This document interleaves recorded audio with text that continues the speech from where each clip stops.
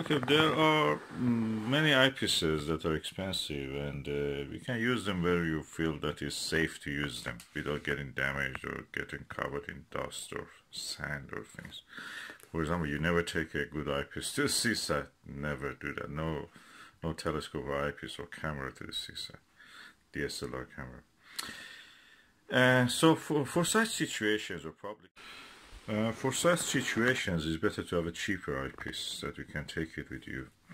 And here is one example of it. It's a two-inch eyepiece that I've uh, worn about, and uh, it's cheap, so it must be cheerful. Hopefully, let's see. Okay, now I'm opening it. Let's see what is here. Uh -huh.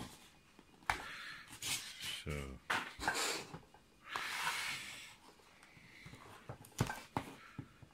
It is in a box which actually fits the purpose to protect it. Oh, I like this kind of boxes that open on the side.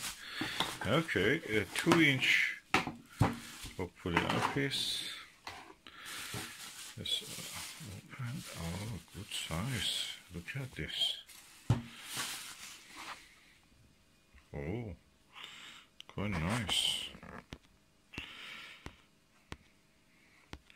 26 millimeter, 26 millimeter fully multi-coated eyepiece, 2 inch barrel. It doesn't have the top uh, uh,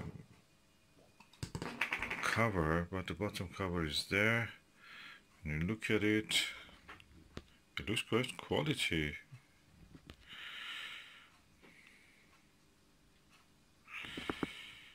Hmm.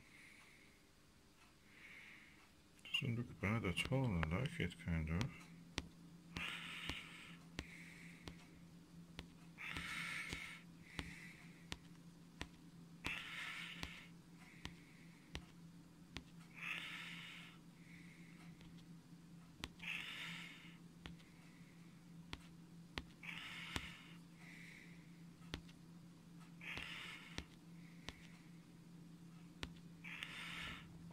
Okay. As you can see inside of it is threaded so it will not have reflection. It is also blackened so it will increase the contrast.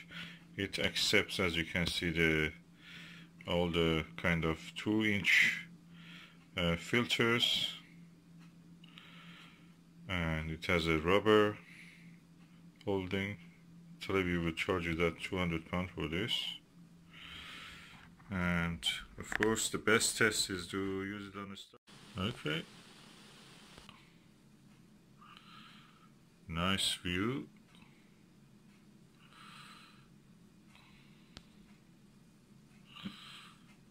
Oh, quite clear.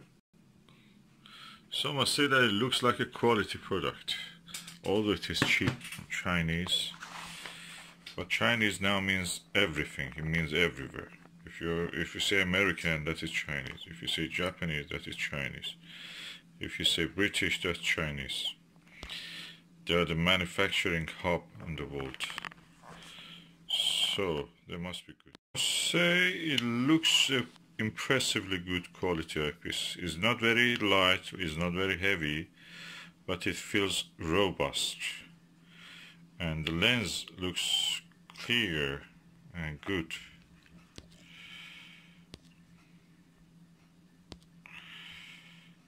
So I'm looking forward to testing on the stars actually just to see how it is. Unfortunately it's this time of the year we don't have now many good nights so that's the only only bad thing about this time of the year